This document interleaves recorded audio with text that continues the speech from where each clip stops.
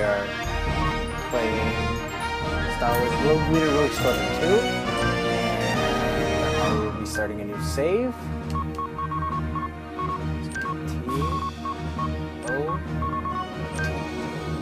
Are you sure? Yes, I'm definitely sure. And I will be doing The Death Star will- Death Star attack.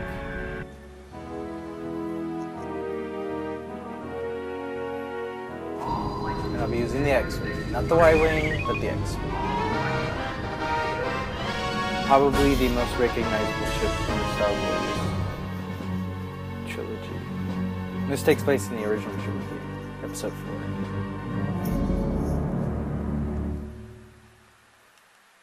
And um, I cannot skip the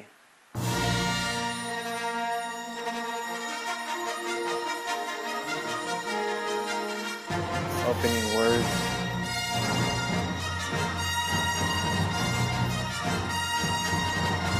Yeah, so this game released with the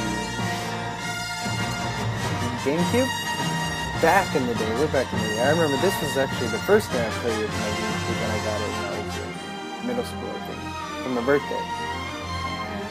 And I remember I was super excited to play this game because I grew up with Star Wars I was little. Yeah, we all know the plot is that the Empire is trying to take over the galaxy, but then a small group of rebels rise up against take the fight to the Empire. To restore freedom to the galaxy. Because as we all know, the Empire wants to get rid of everybody. Ooh.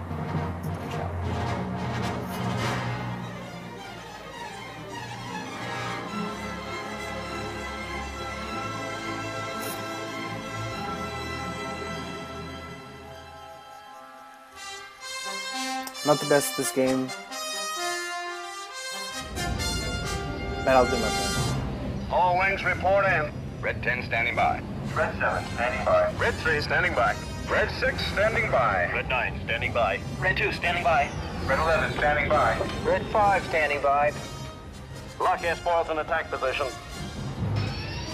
And in my opinion, out of all the Star Wars games that I've played, this is by far my favorite, where you can actually play fighters and bombers and speeders and everything. Watch yourself.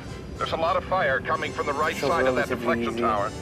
It has a great right Red amount of challenge, a lot of We've re- got to destroy those playability, mainly because it follows so closely to the series Red Leader, we've got you covered. and the action. I'm going after There's a lot of action. Cover me. You blow up stuff. So, first mission is to blow up these guns. Not guns. These Big switch. Follow me. Of that surface guns. fire away from me. These little guns that Hold on, Luke, I'm not on my even way. hit me. But whatever. Them to go away. Here, when joined by wing again, Draw I'll that surface fire away from me. to go get the guns. There's We'll so many guns, guns. Why can't you just leave me alone? Oh. Yeah, I accidentally hit one of the towers in my left wing. Great shot, Huge explosions. Jeez. Great use that I get. Ah! Oh, one actually hit me.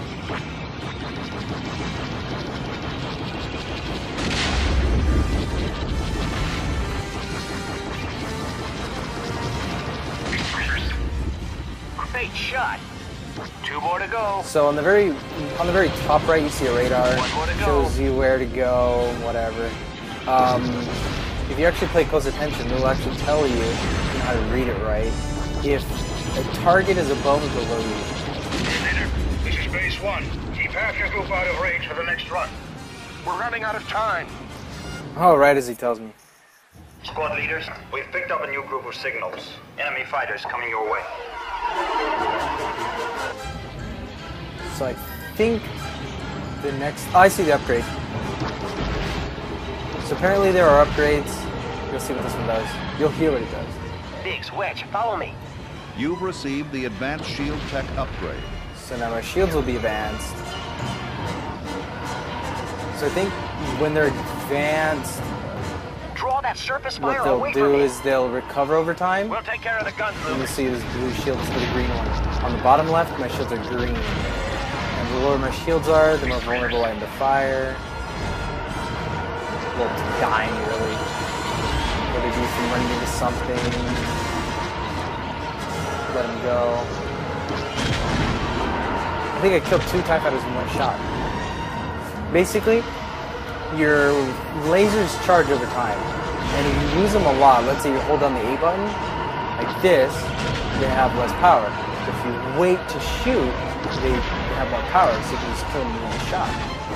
You can tell by the bottom right. It'll charge over time. So if you're a really good shot, you can just kill them all in one hit instead of having to track them down and kill them the hard way. Like that. If you good aim, you can do those kinds of things. But I almost, I would almost consider that a lucky shot. I haven't played this game in maybe years. Good shot. Luke. But it's still one of my favorite games. Oh, I. I think. Oh, they're moving really fast. Oh, there they are.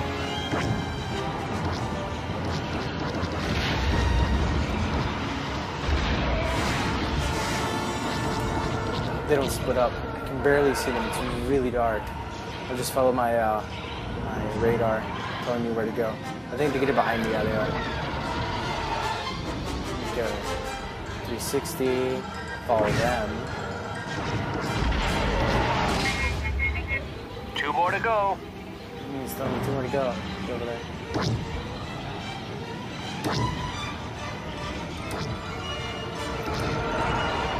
Kind of hit him, but not really.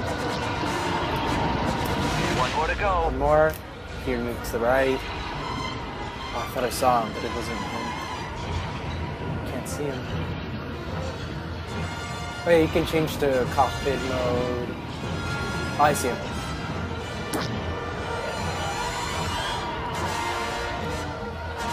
I want to kill him in cockpit. There he is. Got him. Yep. Get ready for your attack run. There's a twist to this attack run. Listen. And considering most of what you see is black, white, and gray, hard Biggs, Wedge. Let's close it up. when you're first starting out. Right with you, so, Luke. in addition We'll to stay back far enough to cover you. barely being able to see anything, right now I'm moving because I don't have to. See right there, I had to. You You'll have to get used to how it's like that, but it's a lot easier you want.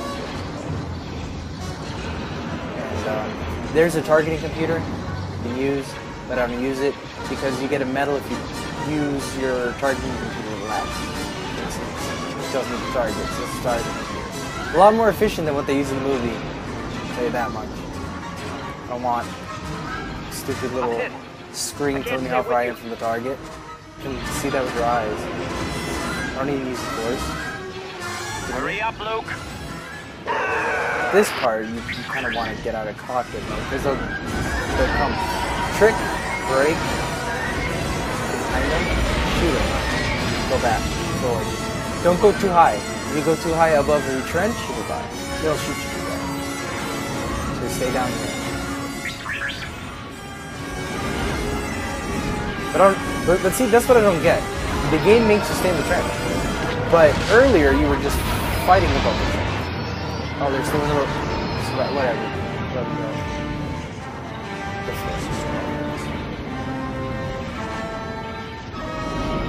Force is strong with this one. Ah!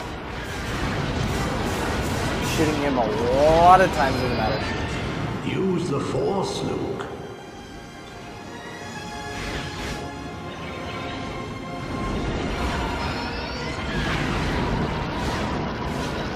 See, he should have died. Off.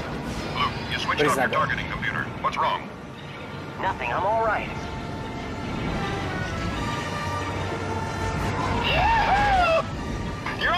I think there was an explosion on Darth Vader's stuff. I'm not sure. Oh, there's the Millennium Falcon. I see. If I could do it.